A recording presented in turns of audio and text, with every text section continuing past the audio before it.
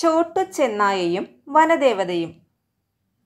ഒരിക്കൽ ഒരു കാട്ടിൽ ഒരു ചെന്നായ താമസിച്ചിരുന്നു. അവന്റെ പേര് ചോട്ടു എന്നായിരുന്നു. ഒരു ദിവസം ചോട്ടു പുഴക്കരയിലെ പാറയിൽ കിടന്ന് ഉറങ്ങിപ്പോയി.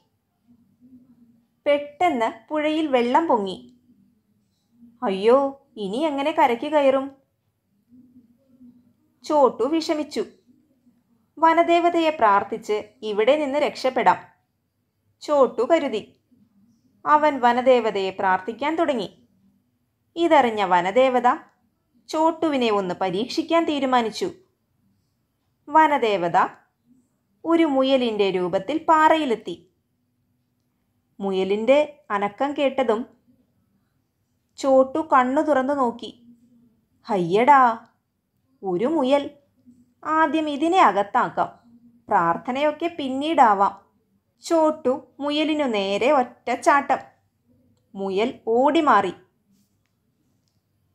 ചോട്ടു തിരിഞ്ഞു നോക്കിയതും മുയലിനെ കാണാതെയായി. ഏ? ഈ മുയൽ എവിടെ പോയി? ഹോ മുയലിനെ കിട്ടിയില്ല. എങ്കിലിനി വനദേവതയെ പ്രാർത്ഥിക്കാം. ചോട്ടു വീണ്ടും പ്രാർത്ഥന തുടങ്ങി.